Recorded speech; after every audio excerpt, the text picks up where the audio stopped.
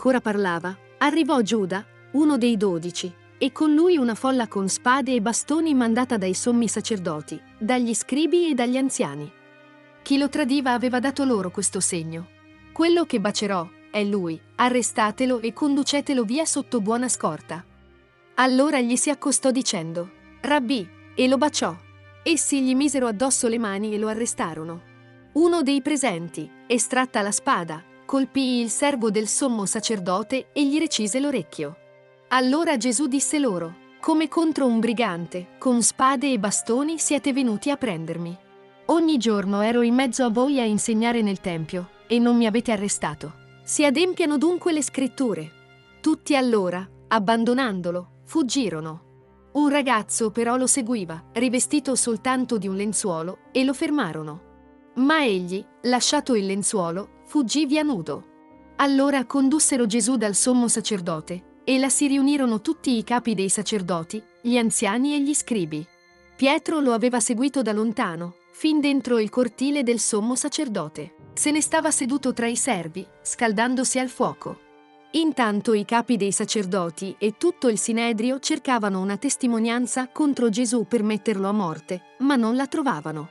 Molti infatti attestavano il falso contro di lui, e così le loro testimonianze non erano concordi.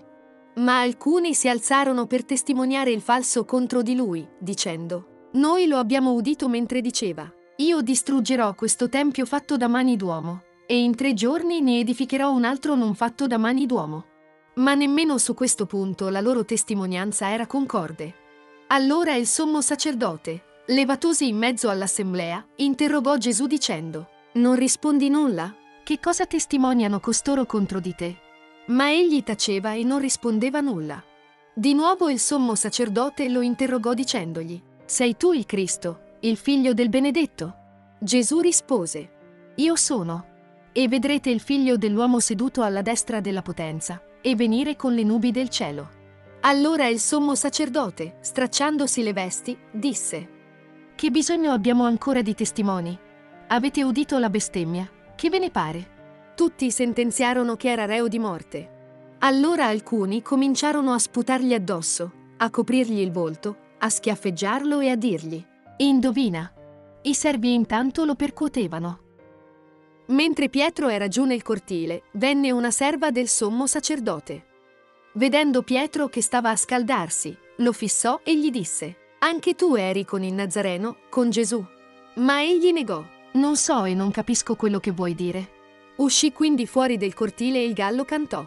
E la serva, vedendolo, ricominciò a dire ai presenti, Costui è di quelli. Ma egli negò di nuovo. Dopo un poco i presenti dissero di nuovo a Pietro, Tu sei certo di quelli, perché sei Galileo. Ma egli cominciò a imprecare e a giurare, Non conosco quell'uomo che voi dite. Per la seconda volta un gallo cantò. Allora Pietro si ricordò di quella parola che Gesù gli aveva detto. Prima che il gallo canti due volte, mi rinnegherai per tre volte. E scoppiò in pianto. Il momento del tradimento è giunto. Marco, ancora una volta, sottolinea che Giuda è uno dei dodici.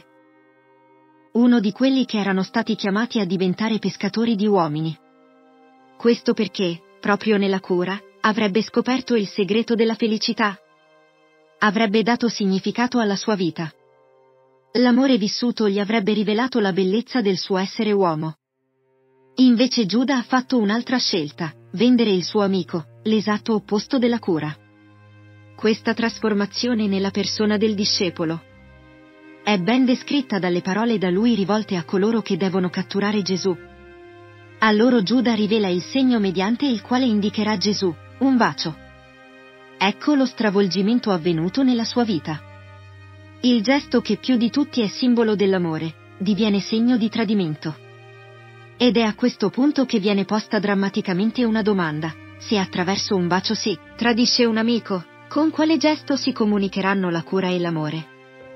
La scelta di Giuda ha distrutto la sua umanità, perché lo ha reso incapace di gesti d'amore. Nel momento in cui il discepolo bacia il maestro, nel momento in cui egli permette al male di impossessarsi anche dei gesti dell'amore, esso travolge tutto ciò che gli si fa incontro, con la stessa violenza dell'acqua che, oltrepassa la diga, invade la valle sottostante e distrugge ogni cosa. La sequenza dei verbi mostra una violenza impressionante, che sfocia in quattro drammatiche parole. Tutti, allora, abbandonandolo, fuggirono. A questo punto Gesù è davvero solo. L'Evangelista insiste molto su questo aspetto. La fuga dei discepoli ha come conseguenza fondamentale l'abbandono di Gesù. Il riferimento al ragazzo che fugge via nudo è piuttosto misterioso. Forse, come sostengono alcuni commentatori, questo giovane è lo stesso Evangelista Marco. Infatti questo particolare è presente solo nel suo Vangelo. Ma la questione non è risolta. Si apre a questo punto la seconda scena.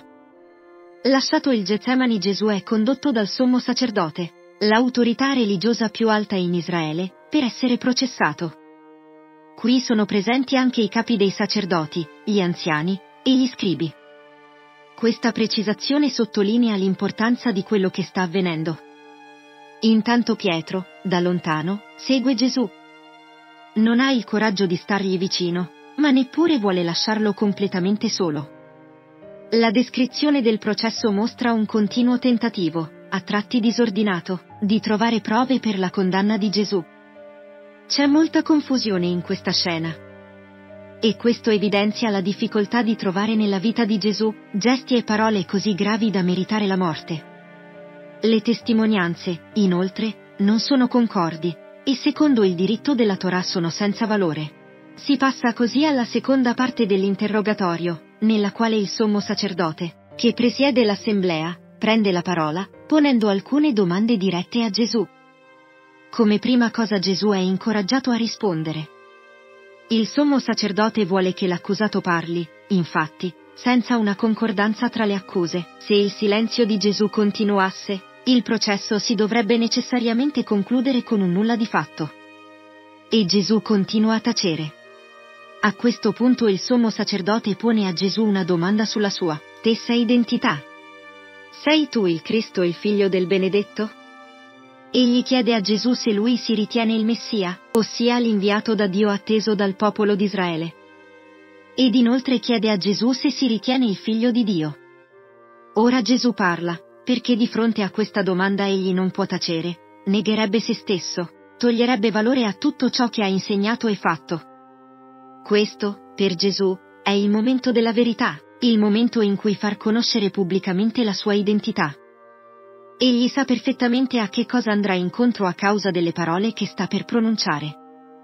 L'ora è giunta, è il momento della grande rivelazione di Gesù, che non avviene nella potenza e nel trionfo, ma durante il processo nel momento in cui è a rischio la sua stessa vita.